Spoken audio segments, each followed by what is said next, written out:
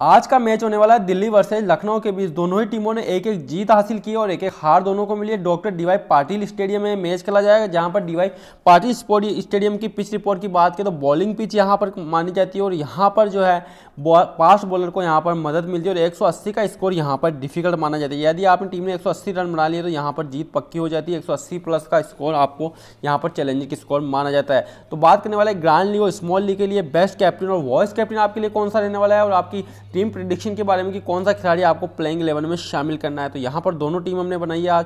तो small league की team के बारे में बात करें कि कौन सा आपको स्मॉल लीग में सेलेक्ट करना है। तो यहाँ पर हम बात करने वाले के राहुल की, क्योंकि के राहुल ने सिक्सटी का स्कोर किया था हैदराबाद के खिलाफ पिछले वाले मैच में।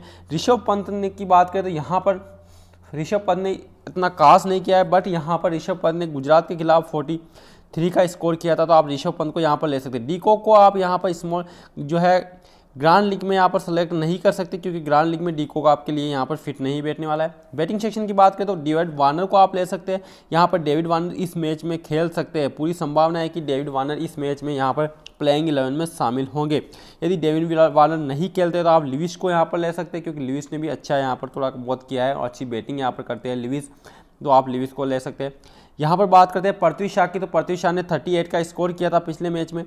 और यहाँ पर 10 का किया था अगले मैच में तो यहाँ पर आप पृथ्वी शाह को सेलेक्ट कर सकते हैं। बिदोनी को आपको दोनों ही मैचों में लेना होगा, क्योंकि बिदोनी ने यहाँ पर चौपन रन एक मैच में बनाए और एक मैच में उन्नीस का स्कोर यहाँ पर किया है तो बिदोनी आपके लिए बेस्ट साबित हो सकते हैं। यहाँ पर आप ऑलराउंडर सेक्शन की बात करें तो जैसी होल्डर को आप ले सकते हैं, क्योंकि जैसी होल्डर ने भी बेहतरीन यहाँ पर थोड़ा सा प्रदर्शन किया है, तीन विकेट यहाँ पर चटकाए पिछले मैच में, जैसी होल्डर ने लखनऊ के साथ खेलते हुए। यहाँ पर हम बात करें कुणाल पांड्या की। तो कुणाल पांड्या को आप यहाँ पर सेलेक्ट कर सकते हैं लखनऊ की टीम से, क्योंकि कुणाल पांड्या ने यहाँ पर बैटिंग भी कर सकते हैं और तीन विकेट यहाँ पर दो मैचों में इन्होंने लिए दीपक हुड्डा की बात करें तो दीपक हुड्डा यहाँ पर बेहतरीन साबित हो रहे हैं। पचपन रन और इक्यावन रन का स्कोर किया था दोनों ही मैचों में।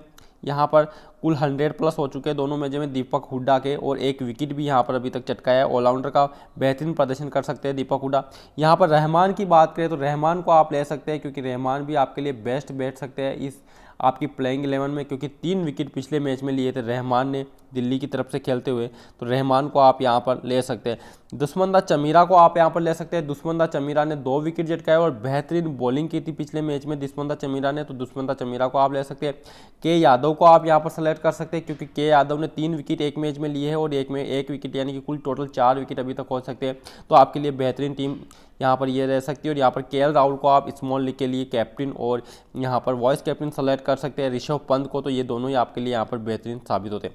अब यहाँ पर बात करने ग्रांड लीग की तो ग्रांड लीग के बारे में यहाँ पर हम ले सकते हैं। ग्रांड लीग की जो टीम है वो यहाँ पर दूसरी टीम सिलेक्शन के बारे में बात करते हैं तो यहाँ पर आप जो ग्रांड लीग की टीम सिलेक्शन है, उसमें आप के राहुल को ले सकते हैं डिकोक को ले सकते हैं, यहाँ पर ऋषभ पंत तीनों विकेट कीपर आप पर सेलेक्ट कर सकते हैं, क्योंकि तीनों यहाँ पर बेहतरीन है और डिकोक कभी भी यहाँ पर आपके लिए अच्छा प्रदर्शन कर सकते हैं। तो ग्रांड लीग के आपको डिकोक को लेना होगा। यहाँ पर बैटिंग सेक्शन की बात है डेविड वार्नर आपके लिए पिक्स है, यहाँ पर लिविस को आप ले लीजिएगा, क्योंकि लिविस और पृथ्वी शाह, यहाँ पर आप बिदोनी को यहाँ पर सेलेक्ट कर सकते हैं, क्योंकि बिदोनी ने अच्छा प्रदर्शन किया है तो बिदोनी यहाँ पर आपके लिए बेस्ट है। मनीष पांडे को यदि आप लेना चाहते हो तो ले सकते हैं बट मनीष पांडे इतना कुछ खास नहीं कर पा रहे तो मनीष पांडे को आप ड्रॉप कर सकते हैं हैं इसीलिए आप यहाँ पर चाहे तो टी शेपर्ड को यहाँ पर सेलेक्ट कर सकते हैं यहाँ पर टी शेपर्ड भी आपके लिए बेहतरीन साबित हो सकते हैं ऑलराउंडर सेक्शन की बात करें तो यहाँ पर ऑलराउंडर पर आपको दीपक हुड्डा आपके लिए बेस्ट रहने वाला है क्योंकि आप यहाँ पर बॉलिंग सेक्शन में ज़्यादा ध्यान दे सकते हो तो दीपक हुड्डा या आप ए पटेल को भी सेलेक्ट कर सकते हैं क्योंकि ए पटेल ने भी थोड़ा सा अच्छा प्रदर्शन यहाँ पर किया है थर्टी का स्कोर यहाँ पर किया है तो यहाँ पर आप बॉलिंग सेक्शन की बात करें तो यहाँ पर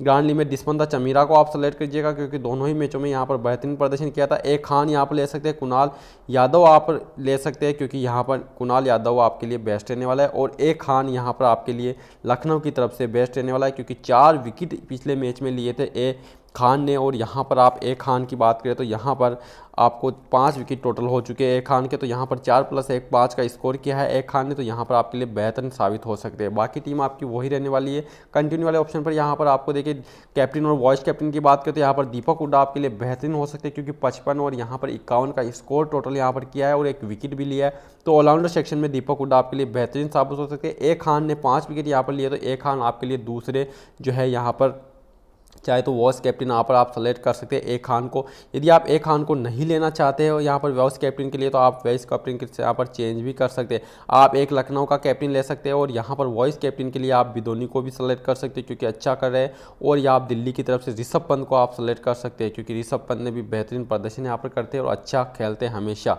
कुछ मैचेस में इनका बल्ला खामोश दिखाई दे रहा है बट यहाँ पर ऋषभ पंत ने 43 का स्कोर किया था पिछले मैच में तो ये यहाँ पर आपको जो ऋषभ पंत बेहतरीन साबित हो सकते हैं, आपके लिए तो यहाँ पर आपकी दोनों जो टीम है, वो यहाँ पर सेलेक्ट हो चुकी है।